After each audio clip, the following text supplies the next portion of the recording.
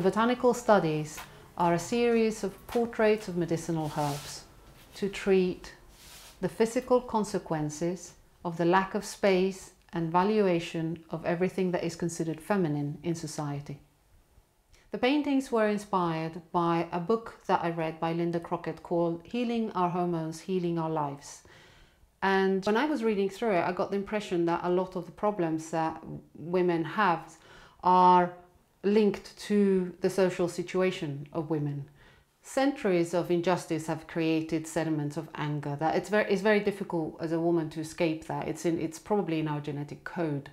And uh, at the same time, we lack role models um, in society because there has been an, a, a deletion from history and an inability to do things in societies that have been quite oppressive towards women.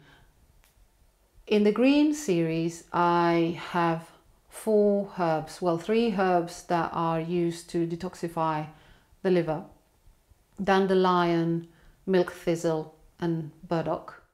Belladonna is not a cleanser of the liver, it's uh, toxic and it's used sometimes as an antispasmodic. But the reason I have it here is because Italian women centuries ago used it in their eyes. They used a drop of um, the juice of the fruit in their eyes to dilate their pupils and appear more attractive. And uh, to me, that's a reflection of how far are you willing to go to appear more attractive to others. Um, are you willing to poison yourself? And if you are, and if you have done that, then you can take the the cleansing herbs to remedy your mistake. The white series is the calming series. Here I have meadow sweet, valerian root, lime blossom and yarrow. They're all used to calm something, to calm the lungs, to calm the nerves, to help to sleep. If we are calm and we um, have a clear mind, it's easier to think and it's easier to focus on what we want to do and how we want to change our surroundings or our own life. The Pink series is about centering the hormones and uh, the flow of life. If the hormones are centered, then all our life cycles flow.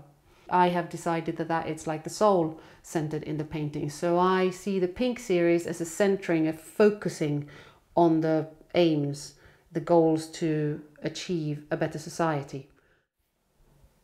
One of the herbs in the group is Agnus castus it was dedicated to the goddess of earth, maternity, and life cycles in ancient Greece. And it was also thought to ward off evil.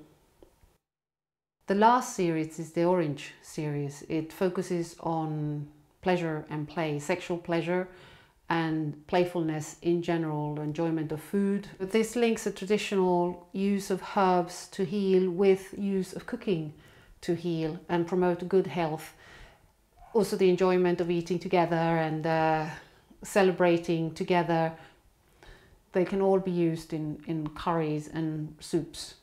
And um, all of them have in common that they increase sexual stimulation in women.